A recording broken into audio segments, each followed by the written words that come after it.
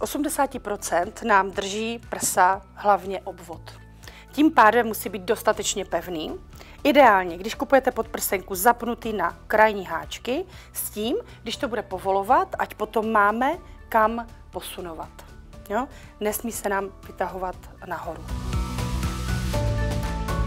A teď, co se týče košičku. Je důležité prsa si správně upravit do podprsenky. Jo?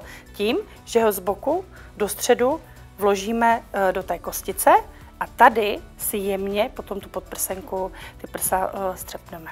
Ta kostice nám musí sahat vždy až za kořen prsu. Nesmí se nám zapichovat nikde do prsní, prsní tkáně.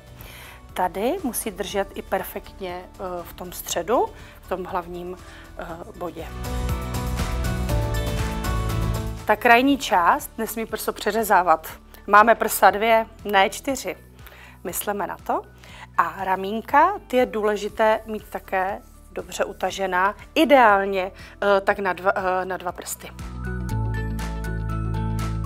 Pokud chcete vidět, že vám podprsenka sedí perfektně, zkuste proto ještě přes to top, poskočit si, zatančit si, zavázat si boty a prsa vám v žádném případě nesmí vypadnout a držet tam, kde mají. A jak vypadá ta špatná podprsenka?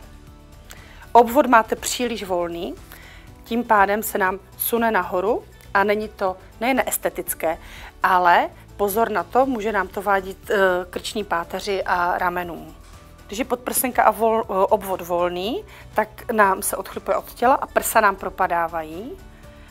Příliš malý koš nám to prso půlí a je to opravdu velmi nezhledné, hlavně pod oblečením. A tady pozor, může se nám stát, že se nám potom kostice zapichuje do prsní tkáně. A my tak celou tu váhu prsou držíme jenom na ramenou. A můžou se nám tady dělat dolíky a případně nás toho bohužel může bolet i hlava. Tak na to pozor.